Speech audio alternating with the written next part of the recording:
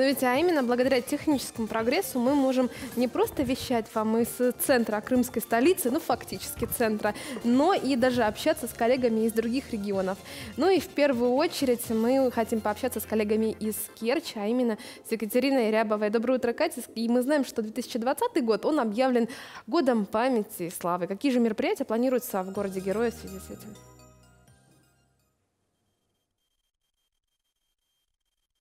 Доброе утро, коллеги, доброе утро, крымчане. Действительно, 2020 год в Российской Федерации объявлен годом памяти и славы. Такой указ подписал президент России Владимир Путин. В Крыму тоже сообщили о поддержке мероприятий, посвященных 75-летней годовщине Победы. В частности, Сергей Аксенов сообщил о том, что э, будет увеличена разовая выплата участникам боевых действий к 9 мая с 15 до 50 тысяч рублей. В городе Герои тоже пройдет очень много мероприятий. Пока что конкретный конкретный план не сообщается, однако о тех мероприятиях, которые непременно должны быть проведены, мы поговорим сегодня с нашим гостем, руководителем Керченского отделения военно-исторического центра «Щит и меч» Романом Толстенко. Роман, доброе утро. Здравствуйте, Екатерина, здравствуйте, уважаемые крымчане.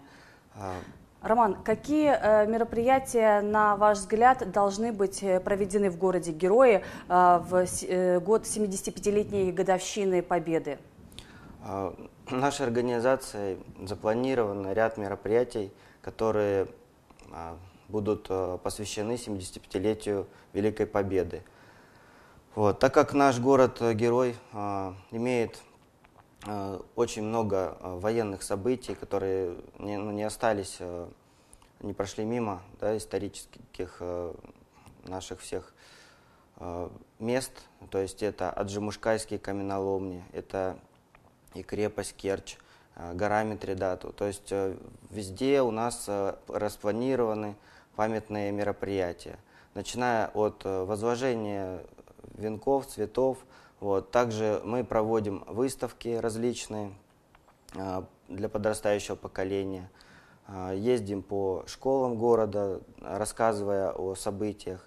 Вот. Совместно с региональной общественной организацией «Батарея 29 БИС» мы также запланировали мероприятие, а, посвященное Эльтигенскому десанту и роли 29-й э, батареи береговой в обороне нашего города. Э, вот. Э, также сотрудничаем и с отделом культуры города, совместные мероприятия и с городской администрацией, а также с Керченским историко-культурным музеем-заповедником – вот. То есть год планируется насыщенный, и по полной э, программе мы включаемся в патриотическое воспитание молодежи нашего города. Когда пройдут уже первые мероприятия, вот, запланированные вашей организацией? А, ближайшее мероприятие вот, э, у нас запланировано на февраль. Это с Керченским музеем-заповедником. А, мы также принимаем участие и в театральных постановках, которые проводит сейчас э, вот, музей. А что это будет за мероприятие? Это будет э, посвящено открытию э, конференции э, военно-исторические чтения. Вот, ну, ближе мы с вами поделимся секретами. Я пока не буду раскрывать все, чтобы немножко интрига сохранялась, было интересно.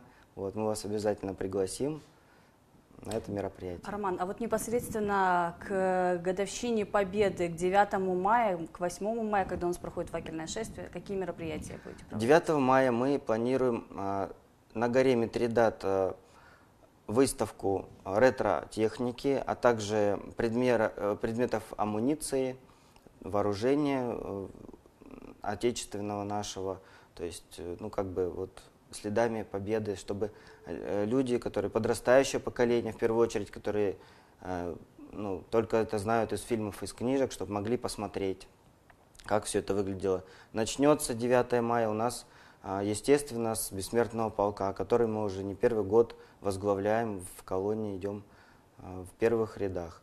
Вот. А также 8 мая, соответственно, в факельном шествии мы всегда принимаем участие, наши члены нашего объединения, вот, а также э, все, кто захотят э, к нам присоединиться, мы, соответственно, также э, всех приглашаем подключиться к этому мероприятию. Роман, большое спасибо за информацию.